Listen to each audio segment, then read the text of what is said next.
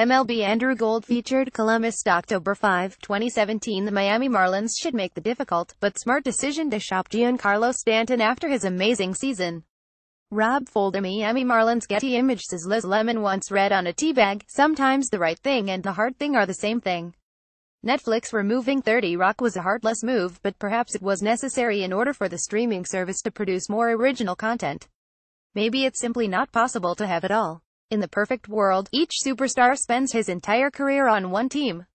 After defying Father Time's regression, he rides into the sunset with a lavish year-long retirement tour and emotional goodbye. Yet MLB is a business, and the real world is rarely idyllic. The proper move is often cruel. Fans will shout blurg and revolt when losing a marquee player who has stitched himself into the organization's fabric. Such roster decisions aren't easy. But that doesn't mean they're bad calls. MLB organizations should make these cold but calculated moves this offseason. Jose Bautista has probably played his last game as a member of the Toronto Blue Jays. Vaughn Ridley Getty image slays start with an inevitable one, something already in motion. Toronto Blue Jays general manager Ross Atkins has confirmed that the team will not pick up a $17 million option for Jose Bautista. Even before the public announcement, fans treated the Sluggers' final game at Rogers Centre like a farewell. This does not, however, guarantee an end to Bautista's Toronto tenure. Although he wants to play next season, per Sportsnet's Shi Davidi, he likely won't have many suitors after hitting .203 with minus 0.5 WAR. The two sides could agree on a significantly lesser one-year deal so Bautista can retire with the Blue Jays. Formerly a journeyman searching for a role, Bautista hit 288 home runs with an .878 ops during his 10 years with Toronto. His indelible legacy and popularity, however, would serve as detriments now. Although the 36-year-old did not justify regular playing time in 2017, he logged a team-high 686 plate appearances. He batted no lower than number 4 in every start, benching a franchise legend is difficult. Then, maybe the Yankees would have made the 2014 postseason if not for locking Derek Jeter and his .617 OPS into the number 2 hole. Parting ways would be sad for fans and teammates, but it would make manager John Gibbons' job much easier. Atkins can find an affordable corner outfielder with pop in free agency. If Colby Rasmus stumbles, if Seth Smith falters, the Blue Jays can cut their losses and give someone else a shot. No guilt necessary. After missing their championship window, the Blue Jays need to get younger. A complete teardown might soon be necessary with Josh Donaldson's contract expiring next winter.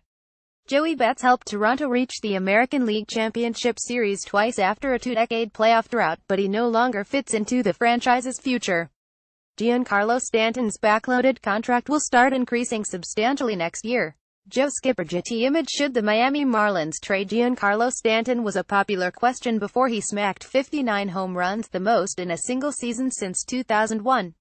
The talking point will draw more polarizing discourse following his late-season power bonanza. How does a team move someone who belted 38 home runs from July 1st onward if new ownership wants a true changing of the guard, it will instead build around a highly compensated superstar. Yet a backloaded contract may force the hands of decision-makers. Stanton's salary jumps from $14 million to $25 million in 2018, and Miami owes him $295 million through 2027 unless he opts out after 2020. Without the supporting cast and resources to build a contender around him, the club probably will not want to pay so much to someone who has averaged 123 games played per season over his career. Especially not if the Marlins plan on rebuilding. Stanton bluntly told FanRag Sports Jon Heyman that he wants no part of another long-term renovation. I don't want to rebuild, Stanton said last week. I've lost for seven years. During Tuesday's introductory news conference, per ESPN.com, Jeter said he likely will have to make unpopular decisions as a new owner. We do have to rebuild the organization, Jeter said. It starts with player development and scouting. We will build it from top down and bottom up. Unless they are confident in his crushing 60 long balls in 2018, Stanton's value will never be higher. The slugger almost certainly won't merit a $32 million salary when he's 35 but someone will sell the farm for the outfielder prior to his age 28 season. While Jeter was not directly addressing Stanton, dealing the team's best player is precisely the unpopular decision he must make. Signing pitchers to huge contracts rarely ends well, so the Chicago Cubs should pass on retaining Jake Arrieta. Dilip Vishwanat Getty Images acquiring Jake Arrieta and Pedro Strop for Scott Feldman and Steve Clevenger will go down as one of the most lopsided trades in MLB history. The Chicago Cubs should walk away from their ace before seeing the story unwind with a sour ending. After registering a 5.46 ERA in four seasons with the Baltimore Orioles, Arrieta has since compiled a 2.73 ERA for his current squad.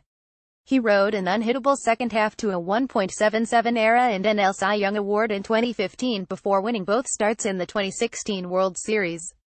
Those moments will probably define the pinnacle of his career. He regressed to a 3.53 ERA, 1.22 whip and 4.16 fielding independent pitching FIP in 2017, all his worst marks since joining the Cubs.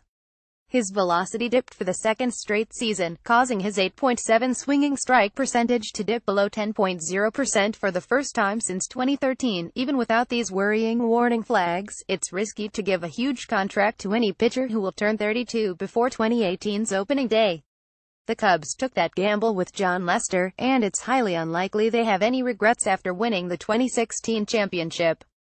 Yet the latter half of his six-year, $155 million deal could get uncomfortable based on this season's 4.33 ERA. Lester was a necessary risk for a team with no rings in over a century and no ace to accompany a young lineup.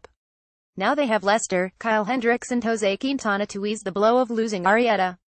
Paying two declining pitchers deep into their 30s would spur major ramifications down the road. They should instead target Alex Cobb and or veterans willing to sign short-term deals. The Pittsburgh Pirates could lose Andrew McCutchen when he enters free agency next offseason. Justin Burrell Getty Image Andrew McCutchen has personified the Pittsburgh Pirates for nine years. He led them to their first playoff appearance since 1992 in 2013. Then he took them to the National League wildcard game in each of the next two seasons. Since the outfielder arrived in 2009, only Joey Votto has had a higher WAR among NL position players. While a franchise like the Pirates often loses such a superstar after six seasons, the 2005 first-round pick signed a team-friendly extension in 2012. Oh, yeah? He also received the 2015 Roberto Clemente Award for his sportsmanship and community service. The Pirates could not have asked for a better player in person to steer their organization. Now they should trade him. There's little doubt Pittsburgh will accept a $14.5 million club option, but the 2013 NL MVP will enter free agency the following offseason. Austin Meadows, MLB.com's number 16 ranked prospect, is waiting to join Starling Marte and Gregory Polanco in the Major League outfield. Despite McCutchen's bouncing back from an uncharacteristically poor 2016 to bat .27, 9.36, 3.486 with 28 home runs, the Pirates went 7,587. They can try to make one last run with their star, but they face an uphill climb with the Cubs, Milwaukee Brewers and St. Louis Cardinals also poised to field playoff contenders in 2018. Pittsburgh will most likely wait until July to trade their star if not contending, but it would fetch a better return during the winter. The Arizona Diamondbacks got JD Martinez in July without forfeiting any premier prospects. Trading McCutchen this offseason would undoubtedly be a callous choice, but it's the prudent one barring a spending uptick. Dellin Betances has struggled to find the strike zone.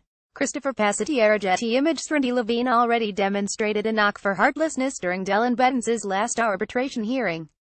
The New York Yankees president described the reliever's request for $5 million as overreaching, ridiculous, half-baked and fantasy. According to Newsday's Erik Boland, this was either an over-the-top argument so the arbiters would side with the Yankees' $3 million offer, which they did, or plain stupidity.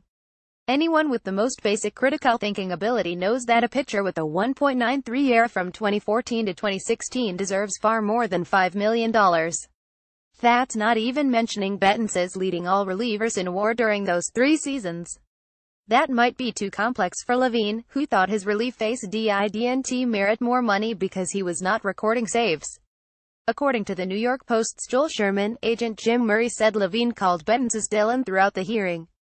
Nobody would blame Betances for bolting at the first opportunity.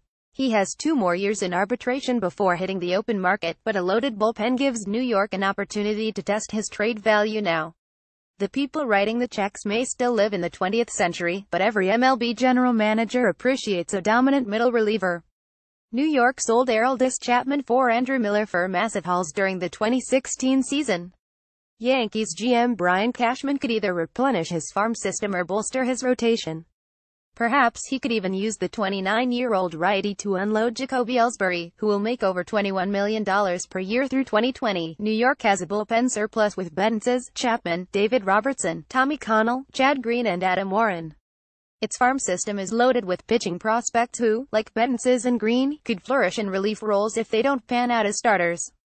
Besides, the setup man issued 44 walks in 59.2 innings with a 3.22 FIP well above his 2.28 career average. Because of those command woes, the Yankees did not use him in the AL wildcard game despite pulling starter Luis Severino in the first inning. He should still garner massive trade appeal after compiling at least 100 strikeouts for the fourth year in a row, but that could change if he struggles to harness the strike zone in 2018. Cashman could instead explore offers for Robertson or Chapman, but Betances has more trade value since the arbitration system fails to properly compensate relievers who don't close.